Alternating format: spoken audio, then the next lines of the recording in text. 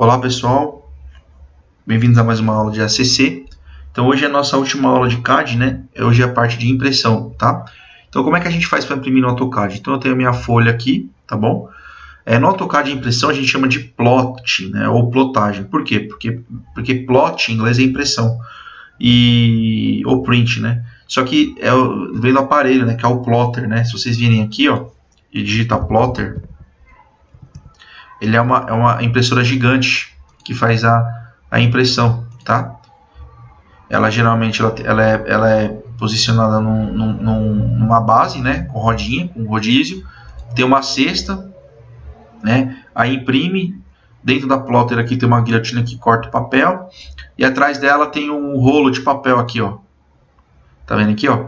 É como se fosse um rolo de papel higiênico mesmo é, tem de 50 e 100 metros, tá? Só que a gramatura do papel é um pouco mais fina do que do A4. A gramatura é um pouquinho mais fina, é um pouquinho mais, mais, mais fina, tá? É, e aí você põe o rolo aqui, né, e vai imprimindo, tá? A plotter, ela tem cartuchos, tá? Ela trabalha com cartuchos. G geralmente o padrão HP, né? Padrão HP são seis cartuchos, tá? Cartuchos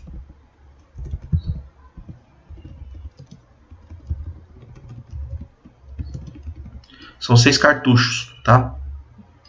Algumas impressoras são quatro, aqui ó, geralmente são seis, tá? Amarelo, preto, rosa, azul, né? Mas depende de, impressora para impressora. Algumas são quatro, outras são. Lá do meu serviço são seis, são seis cartuchos. Manter uma plotter não é barato, pessoal. Pra vocês terem uma ideia, uma plotter zero, novinha, ela custa uns 40 mil reais, tá? E cada cartucho desse é 400, tá? Então, por isso que impressão em gráfica não é barato, porque a manutenção é cara, tá? E as plotters são muito frágeis, elas qualquer coisinha elas, elas dão problema, elas quebram, então tem que ter assim, tem que ter tem que ser muito cuidadoso, zeloso para manter uma plotter, tá? Beleza? Então vamos lá. Ah, adiantando, melhor marca que tem é como se fosse Volkswagen, né? HP. Tá? Existem marcas como é, Canon, Sherpa, mas é lixo pior ainda, melhor que tenha HP, tá? Então, beleza, aqui como é que a gente faz para imprimir, tá bom? É, aqui eu já salvei a aula com aula 8, né? Então, para você imprimir, você primeiro tem que configurar o estilo de impressão, né? O que, que é o estilo de impressão? É assim, o que, que é o estilo de impressão? É, as cores e, a, e, as espessuras que aparecem na tela do CAD vão sair exatamente iguais na, no papel? Né? Não. Por quê? Porque tem uma convenção, né? É uma convenção que a maioria dos escritórios de arquitetura e engenharia usam, né? Qual que é essa convenção? Deixa eu... Se você digitar aqui na, no Google peso gráfico CAD, ele mostra para você, tá? É mais ou menos assim, tá bom? Ó. Aqui, ó. Não. Aqui, ó. Tá vendo essa tabelinha? Ele fala o seguinte... Oh, caramba. Aqui, ó. Ele fala o seguinte, ó. Ó, deixa eu abrir uma, uma, uma nova guia. Ó, ele fala o seguinte, ó, deixa eu copiar e jogar aqui no CAD. Ó, ele fala o seguinte, ó, tudo que é vermelho no AutoCAD, vermelho, amarelo, verde, ciano, azul e magenta, na impressão vão sair preto, tá? O que vai mudar é a espessura. E a espessura corresponde ao número da cor. Então, vermelho 0.1, amarelo 0.2 e assim por diante, né? Porque é um padrão, é fácil de criar, tá? Isso é o que a maioria das empresas usam. Porém, tem empresas que isso é personalizado. Cada, cada empresa tem o seu padrão, na sua convenção, tá bom?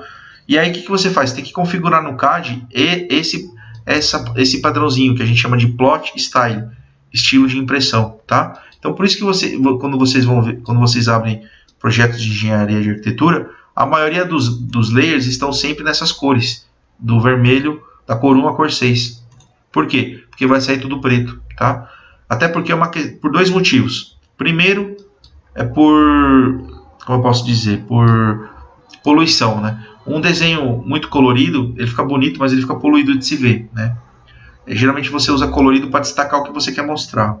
E também tem a questão do custo, né? Uma impressão em preto e branco é muito mais barata que uma impressão colorida, tá? Por exemplo, uma impressão A1 é, preto e branco sai na média aí de 8 a 14 reais, né? Tudo preto e branco. Se você mandar imprimir, por exemplo, colorido, mesmo que tinha um pontinho só de cor, já vai para 30, para 40 reais, tá? Então é, é muito caro, tá? Eu, por exemplo, trabalho muito com imagem aérea, né, lá na empresa. Então eu faço mapas. E aí eu imprimo imagens do Google. Quando eu mando imprimir a zero, é no mínimo 200 reais cada impressão, porque gasta muita tinta, né? Então, por isso que a impressão é cara, tá? Então vamos lá, vamos, vamos ver como faz para imprimir. Para você imprimir, antes de você imprimir, você tem que configurar a impressão, beleza? Voltando aqui, pessoal. É, como é que você faz? Antes de você imprimir, você precisa criar o estilo de impressão. Então você vai vir aqui, é, vai digitar plot, tá bom? Plot, dá um enter, ou você clica nesse carinha aqui, ó, no botãozinho da impressão. Quando você manda imprimir, pode aparecer para você assim no AutoCAD na primeira vez. Clica na, set, na setinha aqui embaixo do lado direito para expandir. Aí aqui no Plot Style, você vai vir aqui e vai escolher o ACAD, tá? Então a gente pode ver que tem várias, impressões, né? Então você tem aqui o, AK, o ACAD, que vai imprimir é, em preto e, é, colorido, o monocromo que vai imprimir em preto e branco, tá? Então no caso aqui, eu vou, eu vou escolher é, ACAD e vou clicar nesse botão aqui, tá? Edit, tá? Aí aqui eu vou clicar no salvar como e vou dar um nome para o meu plot style, né? Eu vou digitar como projeto, tá? Projeto KK, Carlos de Campos, tá? O apelido da escola. É, então aqui, tá vendo? Aqui são as cores que estão no CAD, na tela do seu computador. Então, cor vermelha, eu, aqui no propriedades color, ó, black, vai imprimir preto. E a espessura vai ser line weight 0.1, tá vendo? E assim por diante, ó, amarelo, black, espessura 0.2. Verde, preto, espessura 0.3. Ciano, preto, espessura 0.4. Azul, preto, espessura 0.5. Cor 6, preto, espessura 0.6. Beleza? O restante 0.7 as outras cores vão sair igual está na tela. Então, por exemplo, esse vermelho claro, cor 11, vai sair esse vermelho claro mesmo. Você só tem que definir a espessura, tá? Então aqui, ó, só cor 7 eu vou colocar preto também, e eu coloco 0,7. E a cor 8 e as demais, segura o Shift na cor 8, desce a barra de rolagem, clica na cor 255, tá? Vai selecionar tudo. E aí, é que o meu tá demorando um pouquinho aqui para selecionar. E aqui você vem no line weight e muda para 0.2, tá? Espessura fina, tá bom? Ó, 0.2. Beleza? Aí você salva. Ó, e aí vai aparecer aqui, tá? Por exemplo, eu já tenho um padrão aqui para o meu canal, quando eu imprimo meus projetos aqui como freelance, é, eu tenho o RBCAD, né? Então, por exemplo, se eu pegar aqui, eu tenho um padrão o formato A1 para o formato A3. Mas se eu pegar aqui do, o RBK de formato A1, por exemplo, clicar aqui para ver as cores, vocês vão ver que é muito parecido também. Tá vendo aqui, ó, ó vermelho, preto, ó, ó amarelo 0.2, 0.4. Tá vendo? As outras cores, algumas cores eu mudo, tá? Mas, no geral, é muito parecido, tá? Então, beleza. Então, eu vou apagar isso daqui, tá? que lhe interessa mais. Então, criado o, o que a gente chama do plot style, né, ou a pena, né, agora a gente vai para a impressão, propriamente dita. Então, você, você clica aqui na, na impressora, beleza? E aí vamos imprimir, tá? Então, como é que você faz para imprimir? Então, primeira coisa, você vai escolher a impressora. Se você tiver lá no escritório de engenharia ou na ou em algum lugar, né, que tem impressora, vai tá, aparecer aqui. Só que o que, que, eu faço? Eu não recomendo imprimir direto na, na plotter, porque a chance de dar problema da chabu é grande. Então, é, o que, que eu faço? Sempre salvo o PDF, tá? Então, aí no PDF você imprime, você plota. Então, DWG PDF, tá aqui. Aí aqui no Paper Size é o tamanho do papel, tá? É, aqui tem uma pegadinha, vamos dizer assim. Por quê? Porque o papel, no CAD, todas as folhas aqui tem uma borda interna, é, oculta, vamos dizer assim. Então você tem que escolher, você não pode escolher o ISO, como está aqui, né? ISO A2, A3, A4. você tem que escolher sempre a opção ISO Full Bleed, tá? Pouca gente sabe disso, mas está aqui, ó. Quando você for imprimir, você tem que escolher o Full Bleed. O Full Bleed quer dizer que não tem margem interna, tá? Não tem margem oculta. Essa margem, se eu não me engano, é de 7mm, 3mm, se eu não me engano, tá? Então aqui, ó, eu vou escolher o tamanho do papel, que é o ISO Full Bleed A3, 420 na horizontal por 297 na vertical, certo? Aqui é importante, ó, Extend, tá? Extend, ou seja, vai imprimir tudo que está na tela. No caso, não pode ter nada fora da folha, né? No caso, não tem nada fora da folha. E aqui, ó, eu vou escolher Center para centralizar, centralizar a impressão. Aí aqui, ó, é outra coisa muito importante. Plot scales tem que deixar 1 para 1. Então quer dizer o quê? Uma unidade no papel equivale a 1 milímetro, na escala natural, tá? E aqui você escolhe o, o plot style que você configurou, no caso o projeto KK. Dá um preview. Olha que legal. Tá certinho, né? Tá vendo? Ó, a gente vê as cores, né? Tá vendo? Ó, tudo preto, né? Esquadria, porta, janela, preto, alvenaria também, né? As achuras e as espessuras, né? Alvenaria cor grossa, janela é, espessura da alvenaria grossa, esquadria média e, e, cota fina, né? E texto médio também, né? Então fica bem, bem bonitinho aqui, bem certinho. Ah, beleza, imprimiu, dá um plot aqui, gostou, tá tudo certo aí só dá o nome do, do PDF, beleza? Então eu vou colocar aqui como projeto A3 colorido, beleza? Colorido. Ele vai imprimir, ele automaticamente já vai abrir na, su, na sua no seu navegador, tá? O, o projeto, tá bom? Ó, imprimiu. Voltando, pessoal, eu estou picando o vídeo porque meu computador está com problema, então eu tenho que fazer vídeos aos poucos e juntar de uma vez só, tá? Para não perder todo, todo o conteúdo. Então, voltando aqui. É... Como, eu, como eu falei, vai, vai abrir no seu navegador. Aí vai outra dica importante. Nunca imprima a plotter do navegador, né, do Chrome ou do Internet Explorer.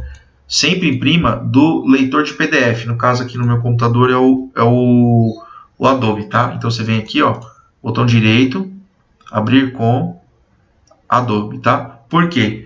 Porque o Chrome, ele pode desconfigurar a impressão. Já tive caso de imprimir e sair, sair a linha toda tremida, sabe? O texto desconfigurado, é, às vezes acontece. Então, para você ter certeza que vai imprimir corretamente, imprima, imprima sempre do, do leitor de PDF, tá bom? Ó, beleza? Agora vamos fazer uma outra simulação aqui, que é o seguinte. É, eu quero imprimir, mas eu quero imprimir só um pedaço, tá? Vamos supor que eu quero imprimir só, vamos supor, os móveis, tá? Eu quero fazer uma, uma concepção diferente aqui dos móveis, rabiscar aqui algumas coisas. Eu quero imprimir só os móveis, tudo em preto e branco mesmo, tá? Então, olha só, eu estou no Model, vou vir aqui na impressora, né? Tá bom? Uma dica, se você vir aqui no Page Setup e clicar no Previews, ele puxa a última configuração de impressão, né? É bem legal esse recurso, tá? Ele, ele recupera a última impressão. Não adianta ter fechado o arquivo e abrir de novo, tem que estar aberto o desenho, tá? Então ele puxou aqui, tá vendo? O que, que eu vou fazer agora? Eu vou pegar aqui o A4, certo? Aí, em vez de pegar o Extend, né? Que pegaria tudo que tem no, no, no desenho, eu vou pegar o Window. Por que o Window? Eu faço um recorte do que eu quero. Tá vendo aqui? Ó? Então eu vou, eu vou fazer um retângulo aqui dos móveis tá bom? Centralizo. E aqui eu vou colocar monocromático, que é preto e branco mesmo, né? E aqui, ó, Fit to Paper quer dizer o quê? Se você coloca essa opção Fit to Paper, o seu recorte ele vai se enquadrar no papel, ele vai se dimensionar. Ou seja, aqui quando você põe Fit to Paper, a escala vai para o espaço, você perde a escala, tá? Então, quando você vai imprimir o projeto certinho, é sempre um para um, né? Uma folha configurada, viewport na escala, beleza. Agora, quando é para croquis, para você rascunhar, né, para você colocar a ideia no papel. Aí você põe fit to paper, tá? Beleza? Ó, aí você vem aqui em preview. Ó, aí olha que legal, tá vendo? E é só imprimir. Aí no caso eu escolhi a 4, né? Tá? Aí eu vou vir aqui, ó. Então, por exemplo, móveis A4 PB, preto e branco. Tá?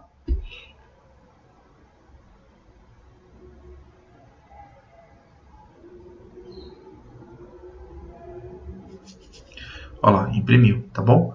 É, por que a gente coloca no layout, pessoal? Justamente por isso, para você definir a escala e para você imprimir. No model, tem, tem cadistas, tem professores que até ensinam a colocar a folha no model, né, o carimbo, a prancha no model. Mas qual o problema?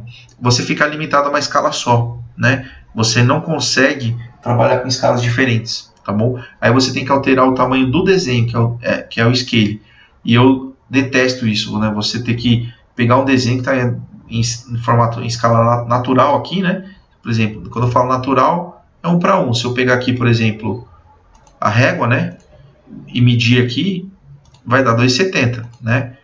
Aí o que, que tem gente que faz? Tem gente que é, escalona o desenho, tá? Isso está errado, porque se o cara quer tirar uma medida, por exemplo, um orçamentista, ele quer pegar o comando área para fazer o quantitativo do orçamento, não vai bater. Então, eu sempre, por isso que eu sempre gosto de, de, de colocar a folha no layout, tá? Não digo que está errado, tá? Quer dizer, para mim está errado, mas é, não é que está errado, para mim é o menos certo. Eu prefiro trabalhar dessa forma, sempre criar a folha no, no layout e usar viewport, tá bom? Acho mais fácil, acho menos complicado, tá bom? É, beleza. Agora vamos fazer uma outra simulação aqui, ó. É, eu quero imprimir esse projeto do jeito que está, sem, sem configurar cor, espessura, do jeito que está. O que, que você vai fazer? Você vai lá, dá um plot, né? Vem aqui, plot. Então vamos lá. Aqui você vai colocar none, tá vendo aqui, ó, none, tá? Aí aqui vamos lá, DWG PDF, é, ISO full né? ISO full bleed A3, né? Vou pegar aqui o window, vou pegar daqui até aqui. Poderia ser o extend também, não tem problema. Center, aqui eu coloco um para um, né? Vou dar um preview. Ó, olha como vai ficar horrível. Tá vendo? Não é, não é de raro ter situações assim, tá? Na pressa, os, os alunos faça, fazerem isso, tá? Imprimir de qualquer jeito. Aí quando imprime, ó, texto amarelo, né, fica horrível, tá? Mas eu vou salvar aqui, ó, plot. Vou salvar como projeto A3 none, né, que eu imprimi de qualquer jeito, tá?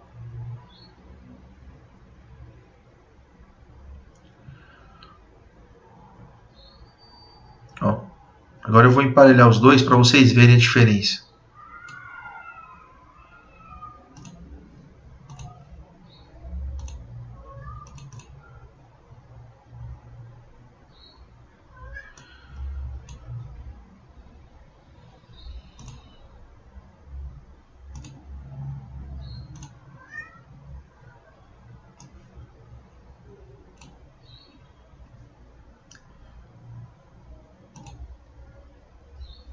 Aí eu pergunto para vocês, pessoal, qual que é o melhor? O, impresso com plot style ou o impresso de qualquer forma, de qualquer jeito, né? O que, que fica mais bonito, né? Não precisa nem falar, né? O que, que é o melhor, tá? Então, por isso que a, impressão, a, a, a plotagem é importante, tá? Por isso que é muito importante você sempre ter um padrão de layer, né? Por isso que no, lá na primeira aula, eu, professor Rodrigo, a gente mostrou para vocês lá aquela tabelinha, né? Com né, eu bati um print da tela na primeira aula, né, para vocês fazerem dessa forma, tá? Cada layer com a sua respectiva cor e espessura, tá? Isso é fundamental na hora da impressão, tá bom? Beleza, pessoal? Então era isso que eu queria mostrar para vocês, tá bom? Na aula que vem a gente entra aí na parte de, de, de a gente vai fazer uma aula de Excel e PowerPoint, tá bom? Para a gente ver um pouquinho de Office e Word também, tá bom? E aí depois a gente vê o que a gente continua passando para vocês, tá? Então é isso. Se vocês tiverem alguma dúvida, a gente vai estar disponível lá no, no, no, no Teams para ajudarem vocês, tá bom? Então um abraço e bons estudos.